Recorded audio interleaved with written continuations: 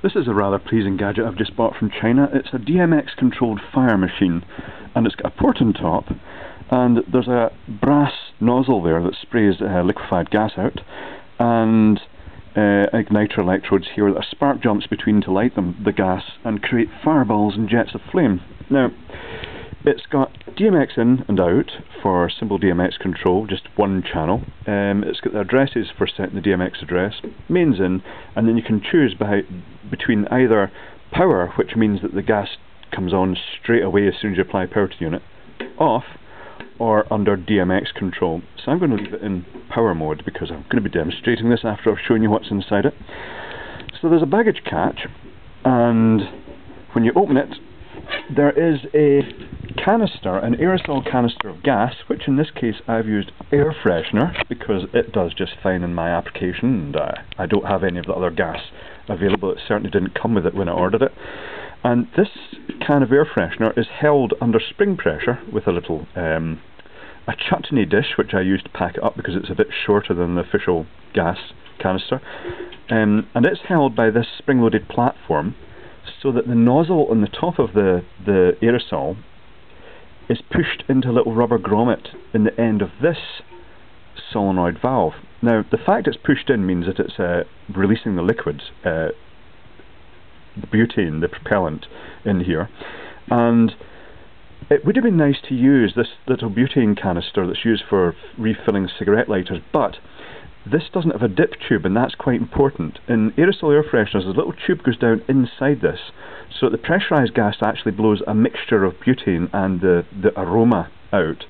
And it's important in this unit that it, it, gets the liquid out as opposed to just the gas off the top like would come out of this um, um, butane, standard butane lighter refill. And if I were to put this in the unit, it would work, but it would end up just maybe a one foot blue flame would come out it. It really needs a liquid to actually blow out a good decent flame. So the aerosol canister is held in position against the little rubber grommet inside this end of a solenoid valve, a fairly standard solenoid valve which is quite nice. And the other end of the solenoid valve is just what's called an orifice, which is an end stop with a tiny little hole in it and that's where the gas blows out. The gas then blows past these two electrodes which a spark is jumping across and the reason for the spark is because down here is a boiler ignition transformer. It's an electronic one in this case and it's turned on at the same time as the solenoid valve and in this unit it's got a DMX facility so the DMX controls a single relay and when the relay comes on it turns on the flame. Um, obvious of course I showed you the front that it's got the manual override so that's what I've got it set to at the moment. So we've got the DMX, boiler ignition transformer, the solenoid valve and the igniter electrodes. Very very simple, very pleasing actually, I like this a lot.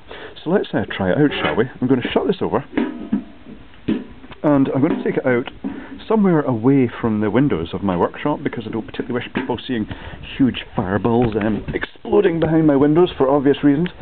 I'm going to take it into the hallway. I do have uh, 11 foot high ceilings in my house, so it's quite good. It means I can actually do things like this indoors without worrying too much about setting the place on fire.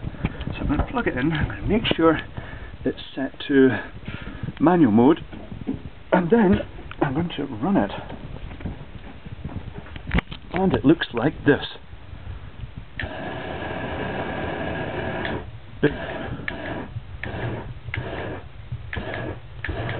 It's awesome. I absolutely love this. It's a fantastic gadget.